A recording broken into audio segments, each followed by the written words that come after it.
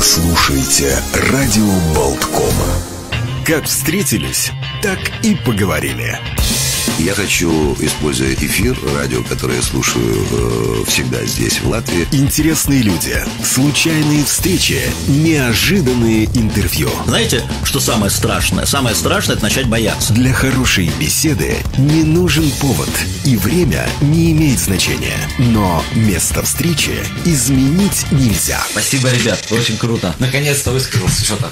Только на радио Болтком. В любое время дня и ночи. Программа «Встретились, поговорили». Здравствуйте, добрый день, уважаемые слушатели. Да, действительно, программа «Встретились, поговорили». Сегодня мы встречаемся и говорим с коучем. Ольга Троицына с нами на прямой связи. Здравствуйте, доброе утро, Ольга. Добрый день.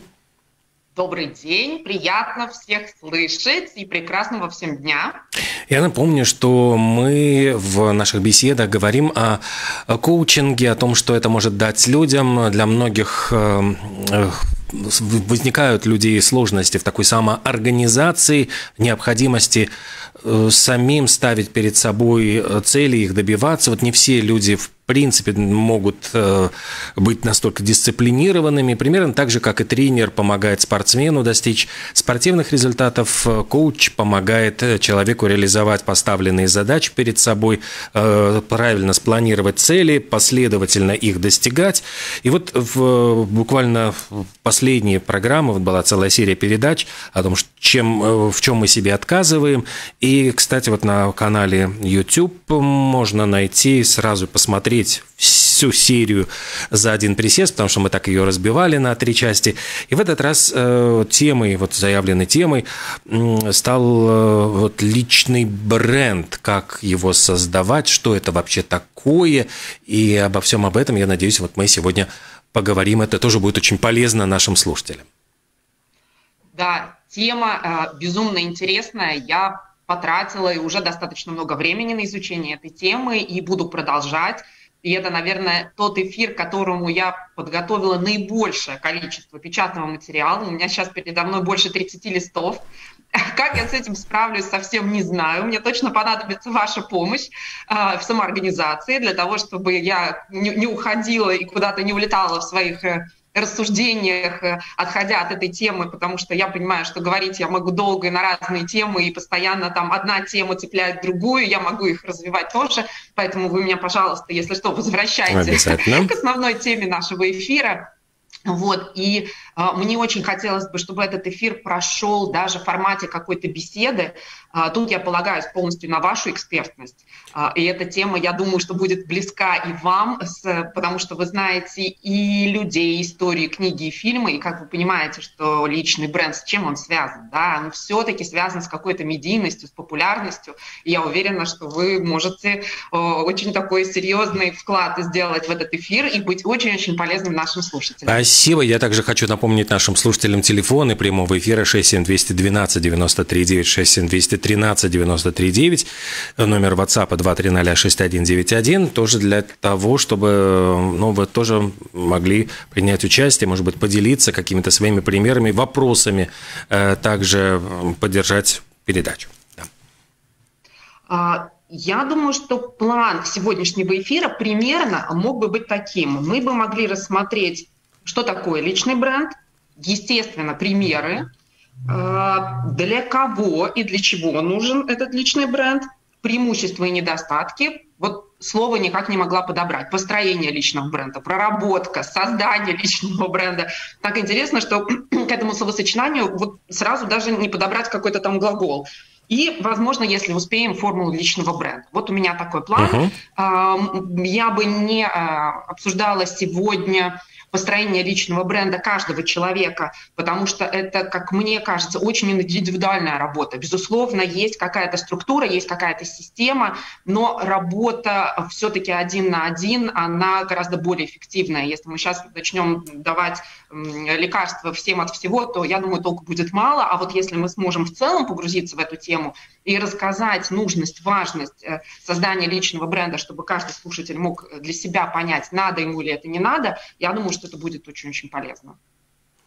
Э, ну и вот действительно, что такое личный бренд? Потому что мы сталкиваемся сейчас с тем, что многие люди ведут э, социальные сети в Инстаграме, например, и сталкиваются даже подсознательно с тем, что если сначала это просто подразумевалось, что это возможность обмениваться с друзьями, информация о том, как я провел выходные, как я, что я покушал, там, поел на обед, внезапно становится понятно, что на основе вот всей этой информации люди создают о нас какое-то мнение, и вот эта репутация, которая идет за нами как шлейф, она важна очень и про э, ну, приеме, при приеме на работу, и, может быть, при общении с клиентами, и много-много всяких других вещей. И вот каждое неловкое, неверное движение, оно может или погубить эту репутацию, либо, наоборот, ее приумножить. Это прекрасный комментарий, э, потому что есть сейчас именно такое мнение, что все эти люди, которые осознанно ведут соцсети, то есть не просто это я на море, это я в отпуске, это я покушал, это я попил, а у которых есть какая-то задача, какая-то структура этих соцсетей, и они правда несут э, что-то важное, ценное от себя, они уже занимаются построением э, личного бренда. Но понятно, что соцсеть это один маленький шажок, это одна маленькая часть огромной системы, но в любом случае публичность, безусловно, является неотъемлемой частью всей этой системы. И что такое личный бренд? Личный бренд – это как раз и есть создание и продвижение образа.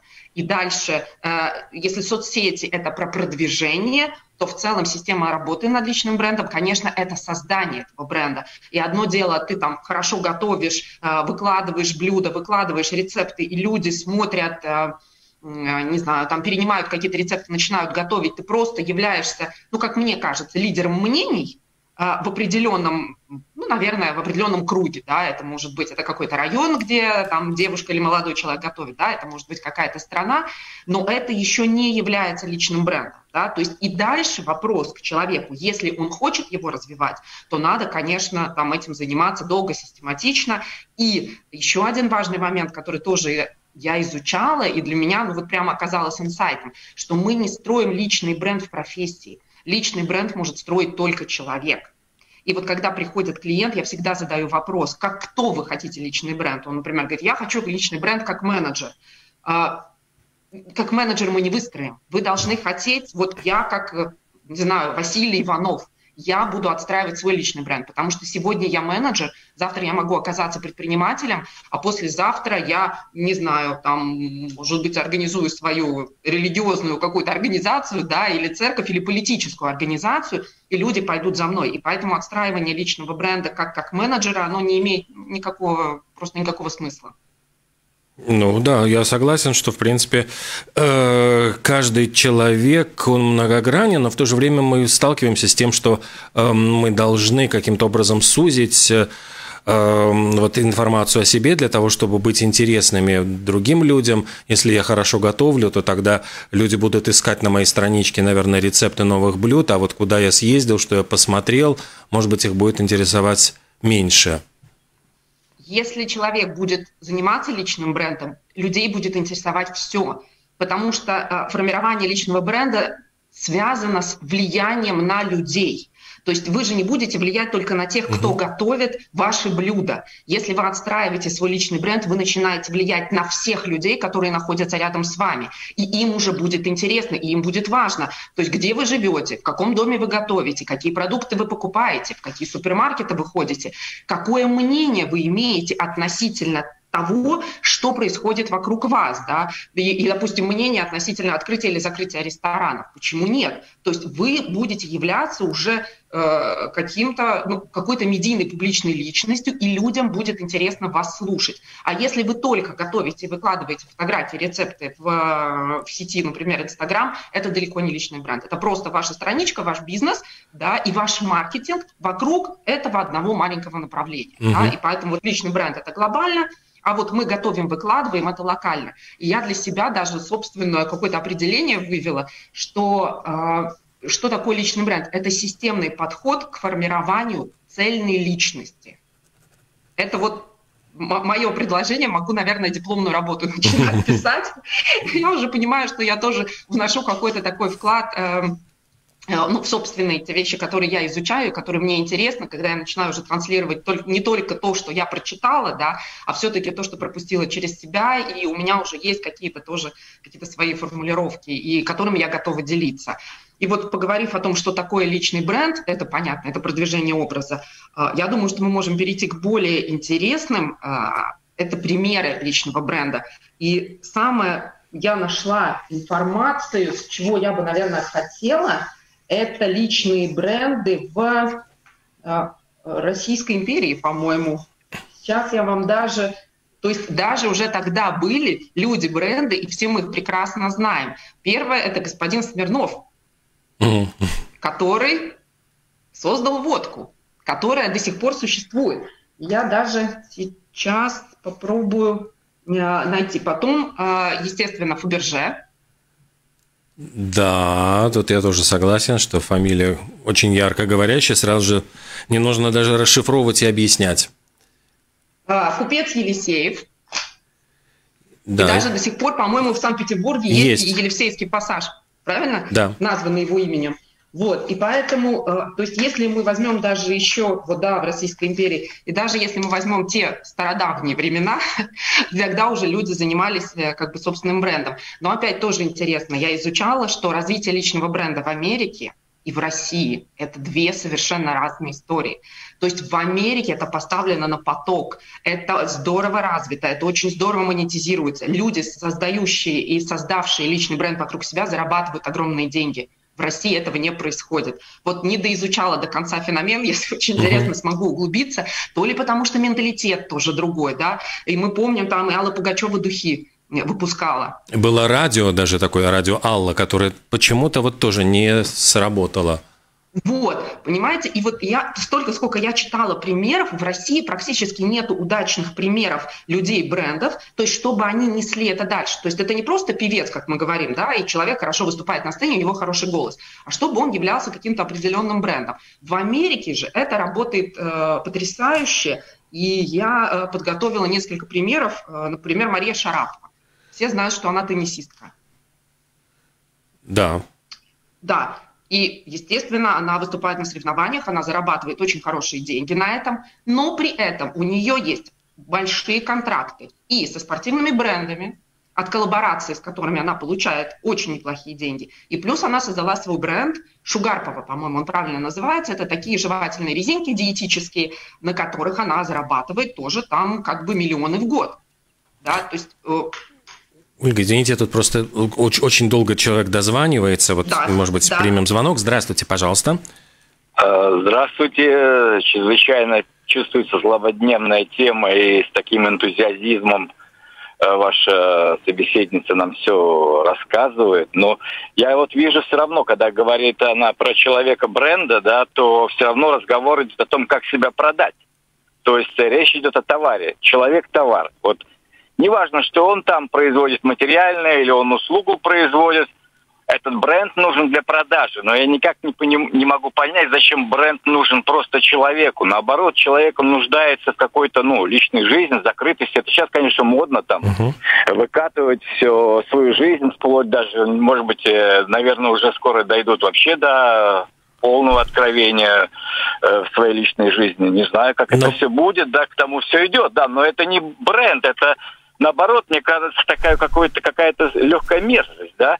Но а здесь, бренд, мне кажется, вы она... что-то смешиваете все равно. Вот, вот вы да, смешиваете. я смешиваю, ну, я понятия. так понимаю, понимаете, да. Но давайте сейчас Но вот, поэтому мы попросим прокомментировать ваше выступление. То есть я, я понимаю, что человек, может быть, у человека все смешалось, и вот как раз-таки он, э, во-первых, плохо ли то, что э, мы говорим, что это товар, ну вот бренд это ну, товар, и есть ли в этом что-то не, не, ну, нехорошее. Ну и второе, что мне кажется, что человек все-таки смешивает то, что э, что-то создается на, на продажу, там, включая свою личную жизнь. Мне кажется, что так ли поступают, вот ну, нужно ли человеку, который выпускает водку Смирнов, допускать там прямо рассказывать о себе какие-то интимные вещи?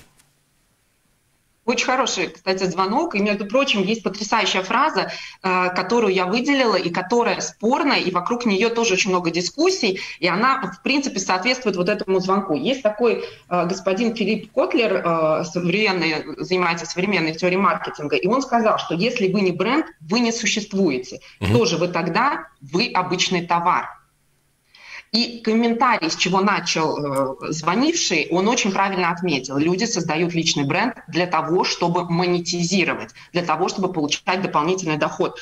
Единственное, у меня это было э, чуть позже в эфире, да, как раз там по пунктам мы говорим, для кого нужен этот личный бренд. Абсолютно не для всех. Да, есть абсолютно категории и отдельные люди, э, которые этим занимаются, это развивают. И как мы уже начали говорить там про Марию Шарапову, например, да, э, человек Теннисист зарабатывает зарабатывает миллионы, люди интересуются ей, ее личностью, ее мнением, покупают ее жвачки и конфетки, потому что она их создала, потому что она спортсменка, и они верят в то, что она знает, а, с каким составом должны быть вот эти вот правильные конфетки без сахара, да, и, конечно, она это монетизирует. Естественно, она этом зарабатывает миллионы потому что заниматься личным брендом, тратить такое количество времени, энергии и денег, чтобы потом не получить деньги обратно, ну, это просто глупо. Да, и для этого каждый человек, конечно, принимает решение, если вы э, работаете, ну, я не знаю, например, тот же самый простой бухгалтер в компании, ну, конечно, если у него нет амбиций, конечно, ему не нужен личный бренд. И на первой консультации, когда ко мне приходит человек, я всегда спрашиваю, у вас амбиции построения личного бренда, оно локальное или глобальное? То есть вы можете отстроить личный бренд в компании, просто быть самым лучшим бухгалтером в компании. Как я это могу сделать? И мы работаем над изменением мышления, вот, ну, практически все, о чем мы говорили в предыдущие эфиры, да, мы работаем над этим. И, конечно, никому не интересно, какая личная жизнь у этого бухгалтера, да, потому что он отстраивается только в рамках как бы своей компании, да, или он просто планирует идти на повышение. А люди глобальные, которые, например, хотят идти в политику, у них амбиции совершенно другие. У них совершенно, и, конечно, человек, который в политике, людям будет, наверное, не все равно, да, сколько раз он был женат, или как он относится к кошечкам, собачкам, да, или там, как часто он путешествует, например, да, если человек в политике путешествует каждый месяц в дальние страны, а все прекрасно знают официальную зарплату, да, то есть там же совершенно другая работа. Но то, что это связано с дополнительной монетизацией, это абсолютно сто процентов так. Да? И человек, конечно, себя через это продает. Ну вот, вот мы да, американские, да, американские примеры, вот мы начали да, с Шараповой. примеры, да, то есть Мария Шарапова как бы в Америке а, она монетизировалась, получилось бы у нее это сделать в России, скажем, большой-большой вопрос, да, если бы она сделала коллаборацию с какими-то там российскими брендами. Дальше возьмем Джорджа Клуни. То, что он был в рекламе кофе Неспрессо, это все понятно, это все знают, но он к этому не имеет никакого отношения. Он в 2013 году основал э, бренд по производству текилы. У них была э, заявка, что они, по-моему, будут производить самую мягкую текилу, которую будут пить они, все их друзья. То есть, ну, в общем, хорошая идея. Uh-huh. И э, он организовал это, у него в партнерах был муж Синди Кроуфорд и еще, по-моему, один там, молодой человек, я могу найти фамилию, у меня на фамилии плахая память. Мужа, по-моему, там и... Гербер была, да, фамилия Гербер. Именно так, да, да, это как раз муж Синди Кроуф, да. И он продал в семнадцатом году этот бренд за миллиард. О-о. Текилы. При том, что у текилы мы все знаем, что есть такой напиток, но, наверное, в Европе он может быть там не очень популярен, да, может быть больше в России, там, а в Америке, там северно-южной может быть больше популярно. Просто и он продал за миллиард с условием, что он все равно остается как, ну, лицо этого бренда, да, что он в любом случае будет пить эту текилу, он будет о ней рассказывать, он будет э, давать ей популярности. То есть, мне кажется, это прекрасная история, при том, что Джордж Клуни актер и зарабатывает, опять-таки, очень хорошие гонорары, да, он все равно добавил, вот как бы вложил свой бренд в тот продукт, который он верит, у него была, было соединение каких-то ценностей с этим продуктом. То есть, наверное, если бы он не пил текилу и не любил, ничего бы не получилось. И люди бы вокруг знали, что он не употребляет, например, да, и на каждой вечеринке он говорит, извините, я не пью, налейте мне воду, и вдруг он там как бы рассказывает что-то про текилу. Так бы не получилось. То есть явно человеку нравится то, что он делает, и это был так называемый субпродукт к его Э, основному какому-то виду деятельности. Вот можно Дальше, я... Например, Анжелина Джоли с да. Э, Брэдом Питтом, а, они производили розовое вино. Да, раз, э, достаточно дорогое, называлось «Мировал», тоже я вот с, с ударениями сложно, да, я вот как бы прочитала, я думаю, что кто-то лучше знает, и я знаю, что это вино продавалось в Латвии. Да? И когда вы покупаете это вино, что вы чувствуете? Что вы являетесь частью какой-то большой семьи, какой-то большой компании, и к этой компании имеют отношение вот эти люди, которые с э, мировой известностью, и они являются уже знаком качества того, что это вино, скорее всего, да, лучше, чем все остальные. То есть, да, они заключили договор с э, винным домом, да, производят, естественно, там, в дорогих, это не, не в каком-то там ангарчике в своем, да, но они решили это сделать. Все, вот им хотелось, чтобы бутылка э, этого вина стояла на столе в, во время, там, например, романтических свиданий. Да? Но при этом, вот вино, но при этом, скажем, э, Брэд Питт босыми ногами не давил в виноград, как это делал Челентано в фильме. В общем, мы понимаем, что вряд ли, но они как бы имеют непосредственное отношение, но вот они свое имя э, да. связали. Да, то есть мы говорим о том, что э, их имя в актерском мастерстве не вызывает ни у кого никаких сомнений, но очень много историй успеха, когда эти имена даются и присваиваются совершенно другим бизнесом, совершенно другим брендом. Вот. Так же, как и Джессика Альба, да, у нее, э, причем я слышала, что у нее обороты какие-то огромные просто в ее компании. Она производит биотовары для дома, для детей, что-то такое очень экологичное, без химикатов, без ничего. Да? И, и, и мне кажется, я читала, что там компания приносит ей денег гораздо больше даже, чем ее актерское мастерство. Вот я как раз хотел она... добавить вот именно очень важный факт, э, где э, ну, обращали в свое время внимание, что и Ален Делон, и э, Элизабет Тейлор, они также вот свои имена связывали, ну, давали парфюму, и Э, здесь опять-таки э, ну, объяснялось, что да, конечно, они не разрабатывали этот парфюм, но опять-таки им приносили э, на пробу различные образцы, и они долго выбирали и выбирали вот тот именно как бы аромат, который им казалось, что соответствует их, раскрывает их какую-то вот личность, вот, ну, наверное, соответствует их личному бренду, как бы сейчас мы сказали, и поэтому вот они э, именно вот этот парфюм, то есть был связан, потому что они лично его выбрали. И понятно, что вот я когда читал эти новости, подчеркивалось и объяснялось, тогда это только начиналось в России, и подчеркивали, говорили, что западные звезды, они с очень большой щепетильностью относятся к этому, и они никогда не позволят себе, ну, просто на обум, не проверив, там, э, подписать контракт. Хорошо, пускай будут это духи какие-нибудь, и которые будут с ужасным качеством, ужасного запаха, они себя поставят в неловкое положение. Это я к тому, что э, в России была вот интересная сцена, когда известный российский актер, он рекламировал, э, ну, по-моему, банк, ну, какой-то вот банк, который который в результате лопнул, люди потеряли деньги. Когда они обратились к этому актеру, он объяснял, я же просто сыграл, но меня попросили сыграть, это была роль. А ему говорили, нет, извини, пожалуйста, когда мы несли свои кровные деньги в банк, мы верили, мы не верили ни рекламе, мы конкретно верили тебе, мы э, под твое честное слово, под твою репутацию давали деньги. И он очень сильно, ну вот потерял, можно сказать, на вот этой рекламе свою репутацию. Кстати, безумно интересная тема. Вот я пока слушала, вообще я даже себе запишу, я ее поисследую, где проходит та грань между, э, где лицо рекламная кампания и где ты участвуешь как свой личный бренд да, угу. потому что это же тоже очень важно. Там, например, все духи, парфюм, всю косметику рекламируют звезды. Я уверена, что у них даже в косметичках этого нет, да. То есть это просто красивое лицо, на них э, ту же самую там бижутерию, угу. ювелирные изделия, да. То есть они просто являются или там говорящей головой, или просто телом, да, и, или чем-то, чем-то. То есть с ними заключили рекламный контракт. Но если мы говорим на самом деле о бизнесе личного бренда, то это немножко по-другому. Это человек вовлечен, он является собственником, да он является владельцем этого всего. Неважно там на какой процент, потому что те, э, э, и у Клуни, и у Альбы, и у Шараповой, по-моему, естественно, им там большая часть как бы долей компании принадлежит, это их бизнес.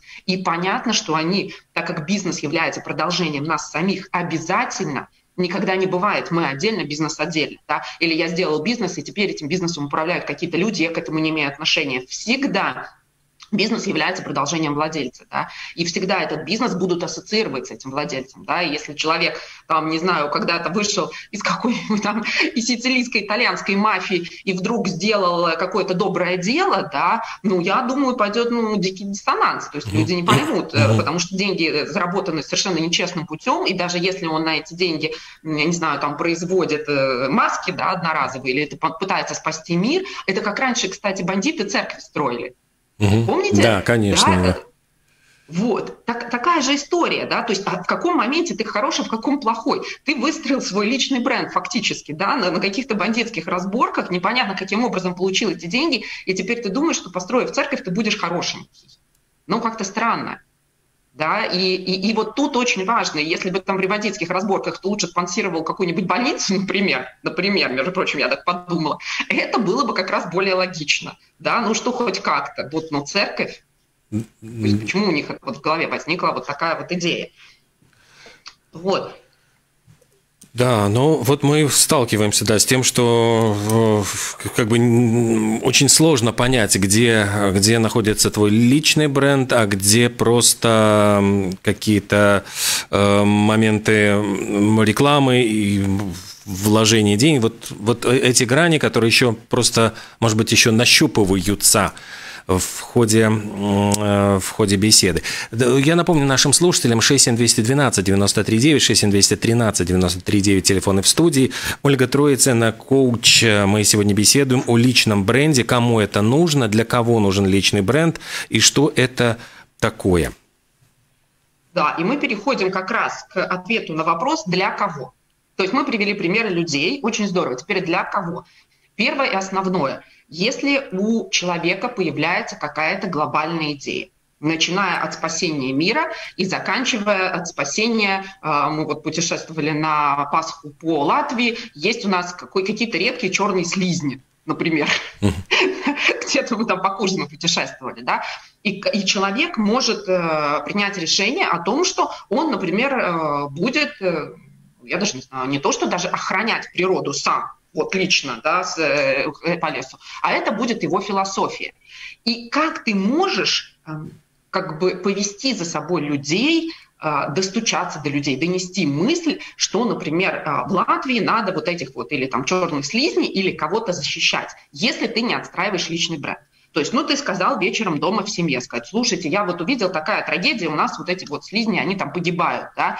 Семья говорит, ну, хорошо, и что мы можем сделать? Он говорит, нет, я на этом не успокоюсь, я считаю, что надо с этим что-то сделать, да. Я пойду в какие-нибудь организации по защите. И что происходит дальше? То есть приходит просто человек, в Организацию по защите природы Латвии и говорит, вы знаете, вот мне жалко этих животных, а, они говорят, ну и хорошо, иди возьми там, не знаю, лопату или пособирай их или еще что-то. Да? А другое дело, приходит публичный человек, который до этого, например, занимался отстраиванием личного бренда. Что делает он? у него есть соцсети, у него есть выход.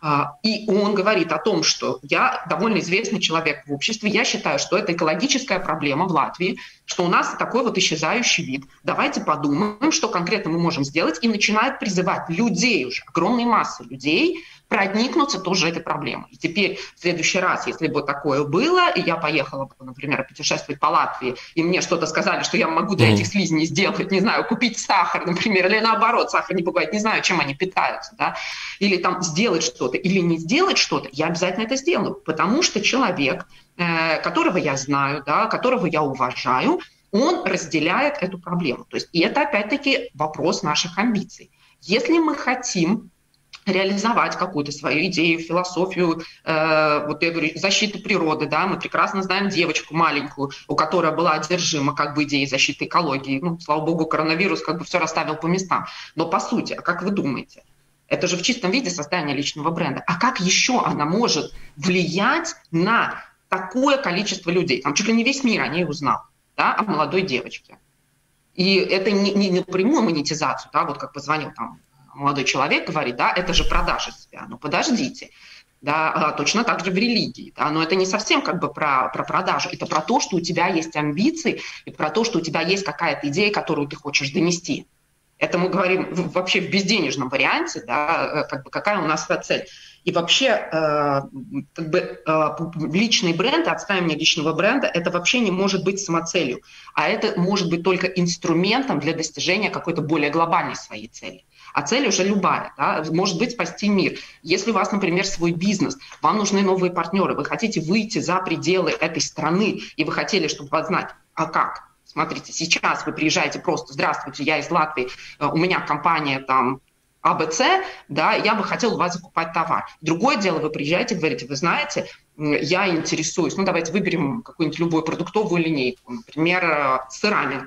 Вот, знаете, я люблю сыры, да, я изучаю этот вопрос. У меня есть социальные сети, у меня есть какая-то группа, э, не знаю, или там ассоциация, федерация, да, где мы это обсуждаем. Я путешествую по миру, я изучаю э, сыроварение, ну, в общем, производство сыров, да. Я приехал в вашу компанию, потому что вот у меня, я был в 10 странах, у меня есть вот такая коллекция, а в вашей стране я не был, с вами я не работал, мне очень интересно с вами поработать, давайте вот, ну, заключим там договор и, или там, на какую-то поставку какого-то определенного там этого сыра. И вот в первом, во втором варианте. В первом варианте вам, может быть, на e-mail даже не ответят, да, потому что таких э, с компанией АБЦ очень много. И второе, когда вы приходите с глобальной своей какой-то философией, вы говорите о том, что это является, вот этот ваш интерес, это ваша компания является частью вашей жизни, и вы в это вкладываетесь. И вы вкладываете и себя, и свой личный бренд в производство этого товара. И все знают, например, в Латвии о том, что там опять Ваня Иванов,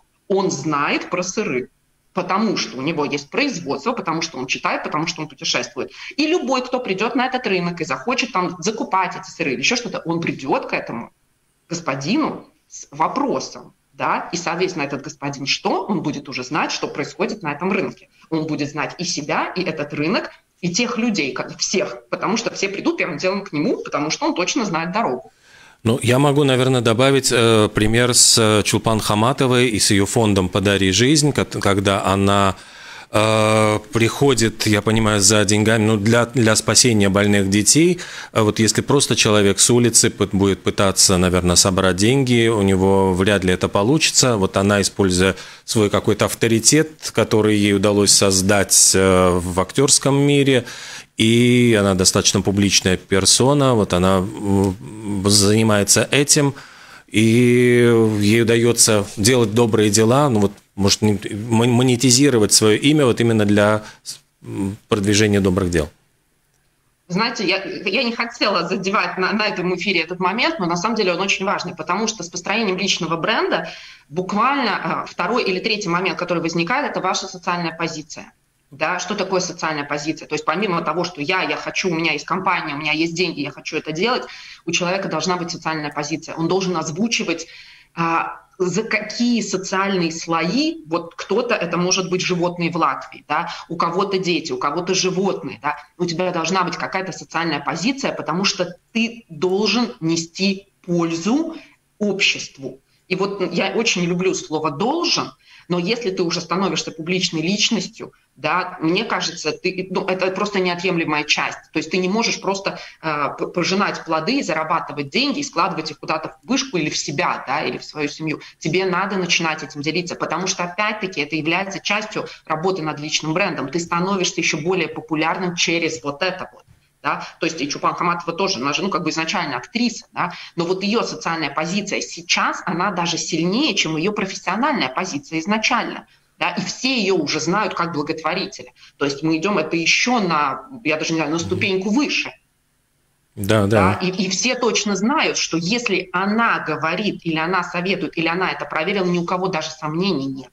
И не потому, что она лицо рекламной кампании, потому что она в этом живет потому что она в это верит, она этим занимается. И это тоже огромная разница да, в том, являемся мы частью того, что мы делаем, или мы просто идем рядом. Да. Это так же, как э, многие друзья могут попросить что-то сделать, где-то помочь, озвучить. Вот вы тоже являетесь публичной личностью, явно э, к вам тоже могут приходить с какими-то вопросами, но вы будете идти просто рядом с этим вопросом. Да. То есть вас попросили помочь, вы помогли, вас попросили там, ну, что-то там, может быть, озвучить, прорекламировать, вы это сделали а вы можете, э, а если вы будете делать что-то, что является продолжением вас, То есть какая-то, ну, любая там социальная позиция. Например, вы озвучите о том, что вы знаете, я там, э, я там помогаю детям, да, и все будут знать, что вот эта вот благотворительная помощь является частью вас. Это будет совсем по-другому, да, и к вам пойдут люди, потому что они вам доверяют потому что они вас слушают каждый день, да, и, и, соответственно, если вы говорите, это мое, я являюсь частью этого проекта, они не могут не поверить, да, но это должно идти, конечно, изнутри,